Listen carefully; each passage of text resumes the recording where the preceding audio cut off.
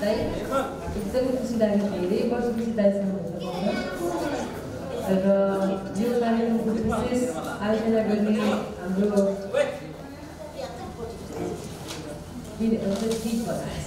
विनय उसमा पहिलादेखि नै हाम्रो फोनमा कुरा हुन्थ्यो र आज यहाँ आउनु पाउँदा अत्यन्तै खुसी लागेको छ विशेष गरी यो दुईवटा मकसद भयो एउटा सफलताको विषयमा पनि र बेवारिसी सबको विषयमा पनि उहाँले जुन प्रकारको कार्य गर्नुभएको छ कति कठिन हुन्छ भन्ने कुराको अनुभव मलाई छ किनकि भूकम्प जाँदाखेरि मैले एक वर्षसम्म बेवारिसी सबहरूलाई मैले पनि व्यवस्थापन गरेको थिएँ राति बाह्र बजी पनि फोन आउँथ्यो पशुपतिबाट अनि मम्मीलाई लिएर जान् जान्थेँ कहिले एक्लै जान्थेँ र धेरै म मलाई एक्चुली भन्नुपर्दा त्यो सब जलिरहेको ठाउँमा मलाई जान डर लाग्थ्यो। एउटै कुरासँग डराउँथेँ अघि भनेर जानु जब परिस्थिति आयो आफ्नै घरमा मेरो घरमा स्वर्गवास भएपछि मैले तालपल्ली पिटी रङमा चाहिँ त्यहाँदेखि म डराउनु छोडेँ हो। र कसैले बाह्र एक बजीसम्म त्यहाँनिरको अवस्था त्यहाँ कति पैसा लाग्छ के लाग्छ त्यहाँको अवस्था सबै मलाई थाहा छ। उहाँले जुन प्रकारको काम गरिरहनु भएको छ त्यो चान्चुने काम गर्छ त्यो आफ्नै छोराछोरीले अथवा आफ्नै सन्तानले पनि गर्न नसक्ने काम उहाँले गरिरहनु भएको छ। त्यसको लागि तपाईँलाई धेरै धेरै बधाई शुभकामना र मेरो साथ सहयोग सधैँ गराउँछ मलाई थाहा छ कि कति दुःख कठिन हुन्छ ओके? र बाँकी हामी भविष्यमा सँगै सहकार्य गरेर जान्छौँ। त्यो डेफिनेटली छँदैछ। र म भोजन प्रकारको विषयमा चाहिँ म के भन्न चाहन्छु भने जुन प्रकारको अभिव्यक्तिहरू मैले सुने हाम्रो दाईको सुने हाम्रो ज्याक दाईको अर्को हाम्रो कार्की दाईको सुने होइन? एक्चुली मानिसको शरीरले उसको प्रतिभा र उसको क्षमता उसको अधिकार निर्धारण गर्दैन। हाम्रो नबुझेको कुरा चाहिँ यहाँ छ। यो मैदान यो जीवनको खेलको मैदान हरेक मानिसहरूको लागि हो। पहिलो कुरा हामी मान्छे बन्न सिक्यौँ हामी हौँ त्यसपछि मात्रै अन्य कुराहरू लेखाजोखा गर्दै गरौँ। यो धरतीमा हामीलाई जन्माउँदाखेरि यो धरतीमा जुन प्रकारको एउटा मानिसको आत्मा लिएर जन्मेका छौँ त्यो नै सबभन्दा ठुलो कुरा यसलाई सही ढङ्गले सदुपयोग गर्ने र यो धरती र यो मञ्चको सही ढङ्गले सदुपयोग गर्ने जो कोहीलाई पनि अधिकार छ त्यो अधिकार न राज्य सरकारले ल्याएर तपाईँहरूको हातमा दिन्छ न समाजले न परिवारले।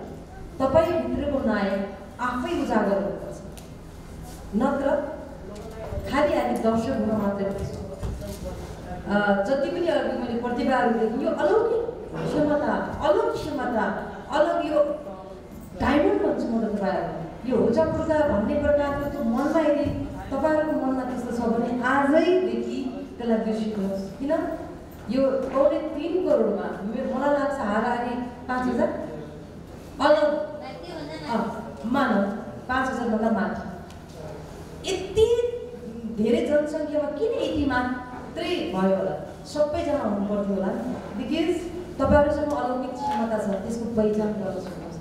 आफूलाई मूल्याङ्कन गर्नुहोस् एकपल्ट किन अरू त्यस्तो र हामी किन भन्ने कुराको तपाईँहरूले पाउनु बाँकी नै सब राज्यले हामीलाई हेरेन भन्ने कुरा। राज्यले कसैलाई पनि हेरेको छ दिनदाडै एउटा छोरीको बलात्कार हुन्छ उसको अपराध दिनदाडै खुलुङको लागि हेरिरहेको हुन्छ उसलाई समात्ने प्रावधान एउटा छोरी मान्छे सुरक्षित भएर घर बाहिर घरबाट बाहिर निस्केको छोरी बेलुका घर आउँछ कि आउँदैन भन्ने प्रकारको मम्मीहरूलाई बुवाहरूलाई तनाव हामी कसको अपेक्षा गरिरहेको छौँ मलाई लाग्दैन कि अहिलेको यो सिस्टममा हामी धेरै अपेक्षा गर्छौँ त्यसका लागि तपाईँ हामी हरेक ठाउँ हरेक जमिनबाट जरुरी छ त्यसकारण मैले छोरीको निम्ति छोरी नेपाल र मालिकाको निम्ति यसै बनाएको होइन र मेरो अभियान विगत आठ वर्षदेखि प्लिज एकपल्ट जागेर हेर मैले त विशेष गरी छोरी मान्छेलाई फोकस गरिरहेको छु र मैले आज am so proud of her कि मलाई अघि भर्खर बिबिसीले के सोधेको थियो तपाईँको यो अभियानमा तपाईँ जुन हिम्मतवादी क्यारेक्टर गरेर अगाडि बढिरहनु भएको छ गाउँघरमा हरेक कुना कन्दारामा पुग्नुहुन्छ के परिवर्तन पाउनुभयो त भनेर सोध्नु भएको मैले परिवर्तन देखिसकेँ मैले एक एउटा दियोले सबै अर्को दियो अर्को दियो बाल्दै जाने हो। एउटा दियोले सबै बाल्न भ्याउँदैन। मैले एउटामा बालेपछि सल्काएपछि त्यो दियोलाई अर्कोलाई सल्काउनु म चाहन्छु यो देशमा छोरी भएर जन्मेर गर्व लाग्ने देश हुनुपर्छ। आज एकाउन्न प्रतिशत महिला अथवा आधा जमिन ढाकिएका मेरा देशमा दिदीबहिनी छोरीहरू छौँ कहाँ छौँ हामी? खालि दर्शक मात्रै बनिरहेछ। तेत्तिस पर्सेन्ट कोटा। कोटा प्रविधि हाम्रो क्षमताको पहिचान हुँदैन। हरेक क्षेत्रमा यही हुनुहुन्छ पत्रकार बहिनीहरू तपाईँलाई पनि थाहा होला कुनै पनि क्षेत्रमा हामी छोरी मान्छेलाई हेरिन्छ मात्रै सुनिँदैन। किन त्यो त्यो बाटो दियौँ कि? हाम्रो क्षमता प्रोफेटर हो जस्तो केटा मान्छेहरू मानौँ।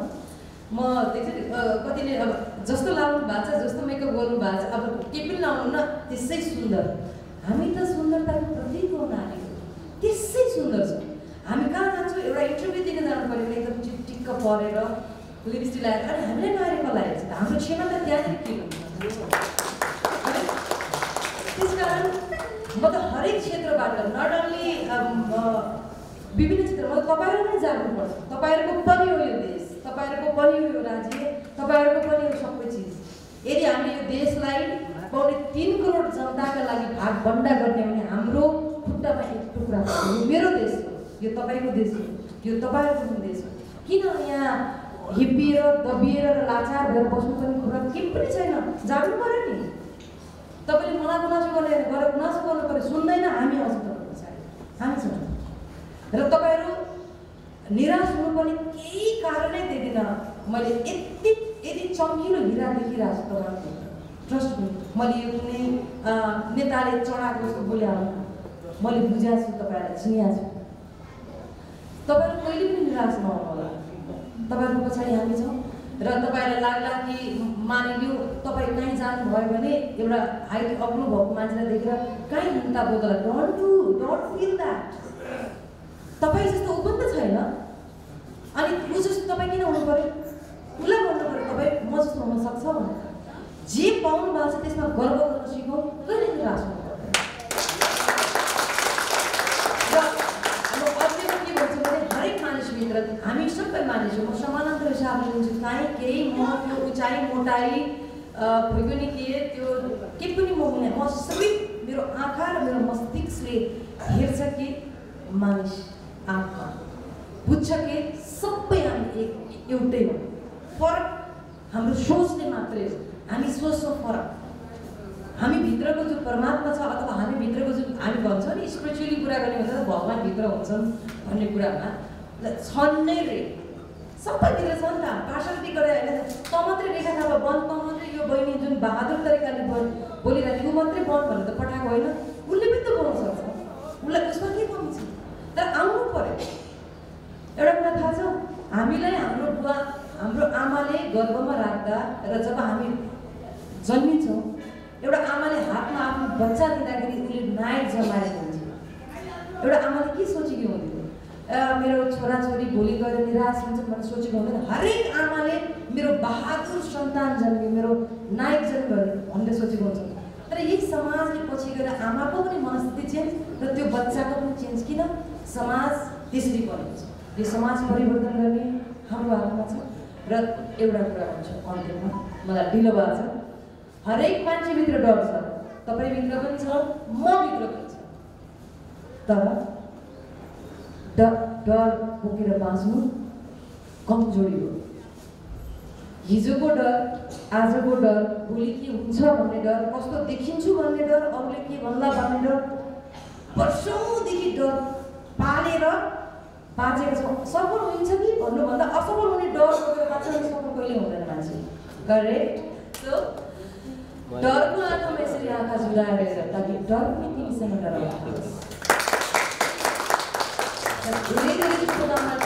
मलाई एकदम अलिक ढिलो भएको भएर हाम्रो प्रसिद्ध काजी एकदमै एकदमै धेरै धेरै बधाई। मेरो साथ सहयोग रहनेछ म सधैँ तपाईँहरूको पछाडि छु। र हरेक समाज हरेक ठाउँबाट म त भन्छु यो समाज सेवा पनि हो। प्लस हामी नेपाली जनता जाग्ने बेला आएको छ।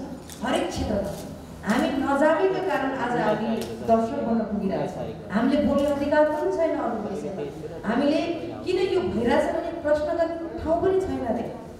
हामी कुन शासनमा छौँ कुन सत्तामा छौँ आफै मूल्याङ्कन गर्नु होला गणतन्त्र आएको देशमा वाक स्वतन्त्रता छैन यो पनि हामीले बुझेका छौँ। र अब पनि हामी जागेन भने हामी धेरै वर्ष पछाडि परेका छौँ अझै पछाडि पर्छौँ र सामाजिक जति पनि कुरीति छ समाजको दृष्टिकोण बदल्ने हाम्रो पालो आएको छ। हामीले गर्नै पर्छ त्यो कुरा। र तपाईँहरू त अब उहाँ चाहिँ हिरो इज हिरो डेफिनेटली र हिरो एभ्री वान सबैजना हिरो हामी जन्मिएकै हिरो बन्नको लागि हो। हरेक मानिसभित्र हिरो छ। ऊ आमाभित्र पनि छ। आमाले अवसर नपाएर न हो। होइन आमा? हरेक आमाले के सोच्छ? हरेक सन्ततिले के सोच्छ हामी पछि कुरा गर्दै गरौँला। र तपाईँहरूलाई स्पेसली होचापडका सङ्घ जुन यो शब्द पनि खासै भन्यो भने म सहमत छु तर के मलाई अलिक के लाग्यो फरक लागिरहेको छ उचाइको मापदण्ड क्षमताले प्रतिभाले तपाईँको अर्कै ढङ्गले हुन्छ। तपाईँ म कम्पिटिसन गऱ्यौँ भने मलाई तपाईँले हराउन सक्छ कि? त शरीर शरीरको हिसाबले मापदण्ड नगरौँ बी प्राउड तपाईँलाई तपाईँले जे पाउनु भएको छ प्लिज डोन्ट रिग्रेट म म त स्लोट गर्छु तपाईँहरूलाई यो all are like time sub